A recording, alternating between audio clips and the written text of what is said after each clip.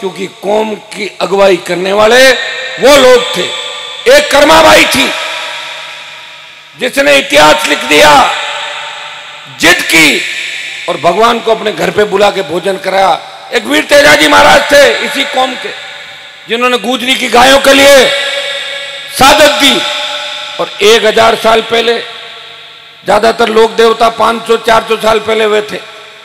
अगर एक हज़ार साल पहले सादत दे के इस देश और विश्व के अंदर किसी ने नाम रोशन किया, इस कौम का, किसान का, वो वीर तेजाजी महाराज थे, जिन्हें पूरे देश के अंदर, मैं मध्य प्रदेश गया इस बार, वहाँ भी इतनी पूजा होती है, जितनी यहाँ पे होती है। और हमारे समाज के साथ साथ गुजर, दाकड़, दूसरी छत्तीस कौम के लोग तेजाजी महाराज को याद करते हैं। किसान हल जोतने से पहले वीर तेजाजी को याद करता है। दुर्भाग्य से हमारे नेताओं ने वीर तेजाजी महाराज का कभी नाम नहीं लिया, कभी तेजाजी का जयकारा नहीं किया। तेजाजी महाराज के आदर्श स्थापित करने की बात नहीं की। मैं धन्यवाद दूँगा इन नौजवानों को कि वीर तेजाजी के जयकारे के साथ आप आगे बढ़ रहे हैं। 2008 और 13 के अंदर, विधानसभा के अंदर तेजाजी का जयकारा लगा के और 2019 में जब लोकसभा के अंदर जीत के गया था, हर लोकसभा का मेंबर कोई मोदी की जय बोल रहा था, कोई सोनिया की बोल रहा था, कोई राहुल की बोल रहा था, कोई अपने देवताओं की बोल रहा था, लेकिन वीर तेजा जी का जयकर इस हिंदुस्तान की पार्लियामेंट के अंदर किसी ने लगाया, वो नागौर के सांसद ने लगाया। उसने कहा कि वीर तेजा जी महाराज नागौर की धरती के थे, वैसे तो लोक देवता सबके थे, उनका जन्म नागौर की धरती पर हुआ और परोपकार के लिए उन्होंने वचन निभाया और वचन इतिहास गवाए कि वचन निभाने वाले कम लोग थे। या तो राजा राम ने वचन निभाया और एक कावत चली, रघुकुल रीत सदा चली आई। प्राण जाए पर वचन ना जाए उस वचन को अगर निभाया तो वीर तेजाजी महाराज ने निभाया। वो इसी कौम से आते हैं, वो किसान कौम से आते हैं, उनका नाम लेते ही हमारा सीना चौड़ा हो जाता है। लेकिन दुर्भाग्य से, इस राजस्थान के अंदर तेजाजी के भक्तों की तो कमी नहीं है, लेकिन पॉलिटिकल राजनीतिक जो लोग हैं, वो तेजाजी महाराज को भूल जाते हैं वो विधानसभा, लोकसभा के अंदर जाने के बाद, ऊँचे पदों पर पहुँचने के बाद अपने परिवार का ध्यान रखते हैं, या तेजा जी के भक्तों को कैसे कुचला जाए, किस तरह उनका इलाज करें, इसी चीज़ का ध्यान रखते हैं। भाइयों, लड़ते लड़ते 20 साल मुझे हो गई, और कॉलेज, यूनिवर्सिटी के ज़माने की बात करूँ तो उन्नीस सौ तिरानवे से सात और तेईस, तीस साल का संघर्ष आपके सामने है। और ये कैसे निकले? कभी अगर आप इसके अंदर जाओगे तो आपको लगेगा कि एक व्यक्ति जिसके सारे लोग खिलाफ थे, एक जमाना था, इसी कांग्रेस सरकार की गहलोत सरकार के समय आपने देखा होगा 2001 जब हम लोगों को किस तरह फंसाया, और इस समाज के बड़े बड़े लोग उसके अंदर इन्वॉल्व थे, लेकिन हनुमान बेनीवाल ने हिम्मत नहीं आ रही परिवार खो दिया और उसके बाद इस कौम को आगे बिठाने का, बढ़ाने का प्रयास किया। मैं चाहता तो तीन में वसुंधरा के हाथा जोड़ी करके मंत्री बन जाता, टिकट लेता। मैंने कहा, मुझे टिकट नहीं चाहिए। मैं वसुंधरा को देखना नहीं चाहता। लड़ाई लड़ी, हार गया थोड़े वोटों से। आठ में बिना वसुंधरा टिकट लाया और एमएलए बनते ही वसुंधरा झगड़ा हुआ, पार्टी से बाहर निकाला। और 2008 से 15 का दरमियान जो संघर्ष था, वो आपके सामने था। एक व्यक्ति ने सत्ता जिसके इर्द गिर्द रही, सत्ता को छोड़ता चला गया, अपने भाइयों के सम्मान की लड़ाई लड़ते लड़ते, जब 2019 के अंदर दिल्ली पहुँचा तो देश की सबसे नई पार्टी, राष्ट्रीय लोकतांत्रिक पार्टी थी, और जब मंत्री बनने का नंबर आया तो मेरे देश के किसान सड़कों पर थे, पंजाब, हरियाणा, यूपी के किसान पुकार कर रहे थे, हनुमान जी, मोदी की सत्ता छोड़ो, हमारा साथ दो, एक तरफ़ आपके तकलीफ़ में भाई है और दूसरी तरफ़ सजी हुई कुर्सी है। मैंने एक झटके के अंदर मोदी की सत्ता छोड़ी और एन को जाम करके सत्तर दिन सड़क पर बैठने वाला कोई सांसद था, वो नागौर का सांसद था जिसने किसान कौम के लिए सत्ता को ठुकरा दिया। ये सत्ता मैंने एक बार नहीं ठुकराई, इस राजस्थान में भी चार बार सत्ता ठुकराई। मेरे घर में गहलोत मोदी और वसुंधरा की फ़ोटो नहीं है, मेरे घर में वीर तेजा जी की फ़ोटो है। धन्ना भक्त की फ़ोटो मिलेगी, कर्मा बाई की फ़ोटो मिलेगी। मेरा कोई आला कमान नहीं है। मेरा आला कमान आप लोग हो, जिनके आगे मैं झुकता हूँ। अगर मुझे डर लगता है तो सिर्फ़ आप लोगों का डर लगता है। बाकी हनुमान बेनीवाल को किसी का डर नहीं लगता। इस राजस्थान को उन हार्ड कोर अपराधियों को, उनके अंजाम तक पहुंचाना, उन हार्ड कोर अपराधियों का इलाज अगर किसी ने किया, जिन्होंने किसान कौम की खिलाफत करी, इसी व्यक्ति ने किया। और मैं तो शायद मुझे नज़दीक नज़दीक से जो लोग जानते हैं, वो ये भी जानते होंगे कि नेताओं के तो चारों तरफ़ दलालों की फौज खड़ी रहती है। हनुमान बेनीवाल के घर के दरवाजे आम आदमी के खुले रहते हैं। वो खुद सुनाई भी करता है, प्रयास भी करता है और हर व्यक्ति को न्याय दिलाने की बात करता है। पीड़ित, चाहे उसकी जाति कोई भी हो, मैं प्रयास करता हूँ कि पीड़ित को न्याय मिले, पीड़ित के साथ रहता हूँ। इसलिए आप दोनों हाथों से मुझे आशीर्वाद देते हैं। मैं इतना ही विश्वास आपको दिलाता हूँ। जो ज़िम्मेदारी आज चार साल पूरे हुए मुझे आज से तेईस तारीख है ना? आज ही के दिन ज्योति मिर्ज़ा को बाई चालीस सतरे वाला गीत गुआया था नागौर के लोगों ने, याद है ना आपको सारा? चार साल हो गए इस बात को। वैसे 2014 में मैंने ऑपरेशन किया था उसका, निर्दलीय लड़के किया। मैं हारता नहीं हूँ, थकता नहीं हूँ, मेरी एक आदत है। मिशन उस उस जगह वही तय है। और ईश्वर की कृपा है क्यों सर कॉन्स्टेंसी के लोग कितने मज़बूत होंगे, आप देखिए। 2018 में गहलोत अपनी गली गली प्रचार कर रहा था। पायलट अपने गाँव गाँव जा रहा था अपनी कॉन्स्टेंसी में। लेकिन हनुमान बेनीवाल राजस्थान के अंदर अपनी पार्टी के प्रत्याशियों को, किसान के बेटों को जिताने के लिए, उनके लिए प्रचार कर रहा था।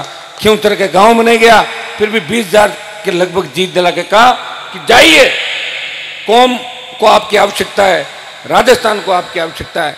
उसी तरह जब लोकसभा का 19 का चुनाव लड़ा क्यों के बाद अगर सबसे बड़ी बढ़त मुझे मिली तो परबत और नावा के अंदर करीब 40 पैंतालीस, पचास पचास हज़ार की बढ़त देके आपने कहा कि हनुमान जी, चौदह के अंदर हम आपको पहचान नहीं पाए थे। इस बार वो चौदह की भरपाई भी कर रहे हैं और आपको लोकसभा के अंदर भेज रहे हैं। आप हमारा मान सम्मान बढ़ाना, काम करना प्रयास मैंने किया। आप दूसरे सांसदों का अगर काम देखेंगे तो निश्चित रूप से मुझे उनसे आगे पाओगे। दुर्भाग्य से दो साल कोविड आ गया। कोविड के अंदर आपने देखा होगा कि ऑक्सीजन के अभाव के अंदर किस तरह जवान दम तोड़ रहे थे। कोविड में वेंटिलेटर रेमडेसिविर के लिए लोग तड़प रहे थे।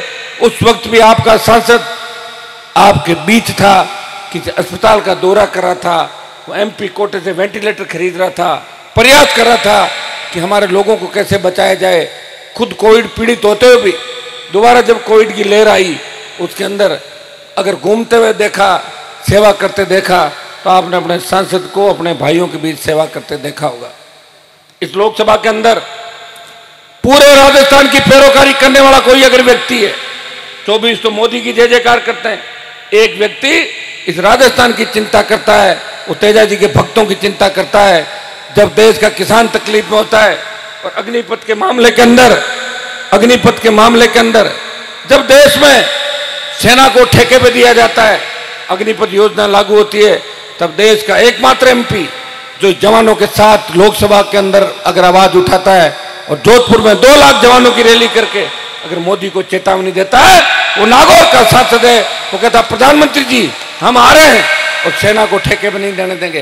कोरोना टिड्डी बढ़ती महँगाई और ईआरसीपी e के मामले के अंदर अगर राजस्थान के प्रत्येक ज़िले की कोई बात करता है, इस राजस्थान के प्रत्येक पीड़ित किसान शेड्यूल ट्राइब शेड्यूल कास्ट और सर्व समाज की बात लोकसभा के अंदर करता है, वो नागौर का सांसद है, जिसने कभी ये नहीं देखा कि मैं मेरी जाति के लिए लड़ रहा हूँ, वो सर्व समाज के लिए लड़ रहा है और अपनी कौम के लिए भी लड़ रहा है। मैं हमेशा एक ही बात कहता हूँ, जो व्यक्ति अपनी कौम का नहीं हुआ वो कभी दूसरी कौम का नहीं हो सकता। लेकिन अपनी कौम की सेवा करना ज़रूरी है। लेकिन मैं कौम के नौजवानों को कभी ये नहीं कहता कि ज़मीन पर कब्जा कर लो, गलत काम कर लो। मैं यही कहता हूँ, हमें अन्याय के खिलाफ लड़ना है। हमें नशे की प्रवृत्ति से दूर रहना जवानों। हमेशा एक बात कहता हूँ कि हमें नशा नहीं करना। आपके इधर तो नशे की इतनी प्रवृत्ति नहीं है। लेकिन मारवाड़, हनुमानगढ़, गंगानगर से लेकर तमाम राजस्थान में देखें तो किसान के बेटे, जिस तरह नशे में डूब रहे हैं घर बर्बाद हो रहे माँ बाप तकलीफ़ में बच्चे तकलीफ़ के अंदर है, और जो ज़्यादातर सड़कों पर आप एक्सीडेंट देख रहे हैं, उनमें भी सबसे महत्वपूर्ण नशा है। कल का एक वाक्य बताता हूँ मेरे वहाँ नागौर के पास का। आप बताइए कि सोशल मीडिया का मतलब ये नहीं कि आप पॉपुलरिटी और अपने वीडियो बना के डालो। सोशल मीडिया का मतलब हमारे भोमाराम जी निठारवाल पूर्व सरपंच साहब, अंजू देवी जी, मेरे साथ पधारे हुए प्रमुख मंचासीन सम्मानित मंच, मौजूद बुज़ुर्गों, नौजवान साथियों और बड़ी तादाद के अंदर आशीर्वाद देने पधारी मातृशक्ति, माताएँ, बहनें और प्यारे बच्चों। आज इतिहास के अंदर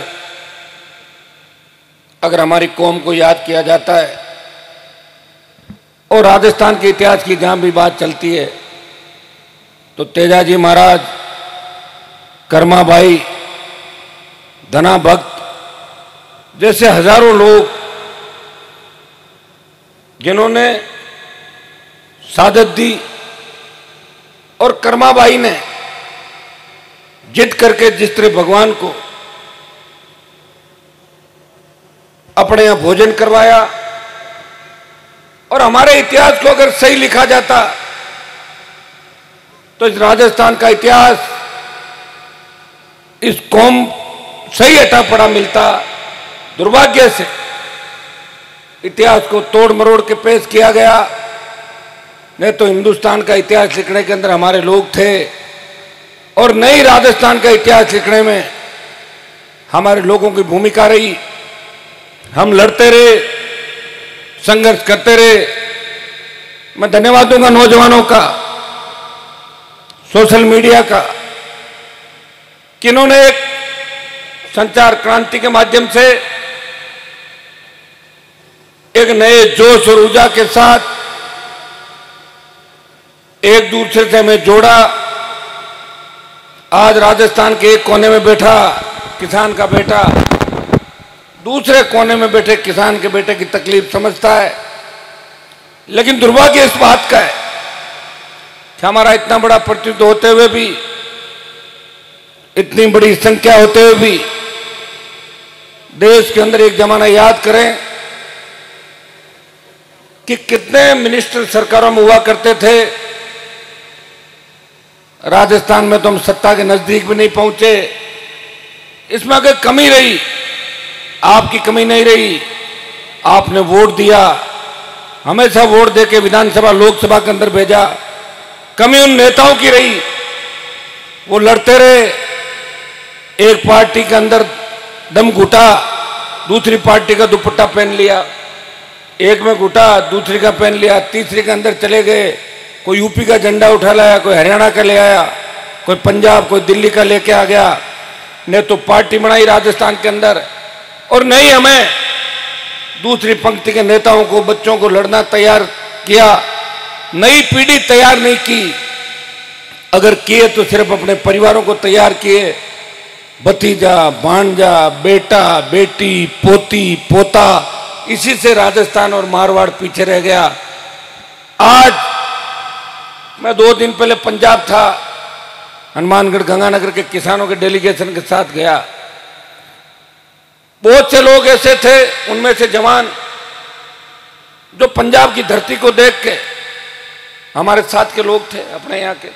बोले, साहब, क्या हरियाली है, क्या हरा भरा इलाका, कितना उत्पादन होता होगा? मैंने कहा, यही पंजाब हो जाता नागौर, अगर हमारे नेताओं की सोच ठीक होती तो यहाँ की धरती भी इस तरह उत्पादन करती। लेकिन सोच नहीं थी। सोच यही थी कि काकोड़ से बाहर नहीं निकले। कुचामन जयपुर नहीं है, बैठे ही रहे पड़ी हो गाँव के माए ट्रेन आएगी तो चोर आ जाएँगे, लाइट लाइट आएगी तो करंट आ जाएगा, बच्चियाँ पड़ेगी तो चली जाएगी, और नेर आएगी तो पानी शुद्ध नहीं होगा। भाइयों, इसलिए इन सब चीज़ों को भूलो और बोर्ड डालते रहो, और ये परिणाम हमने भोगा और उसकी वजह से हमारी कौम राजस्थान में कमज़ोर हो गई।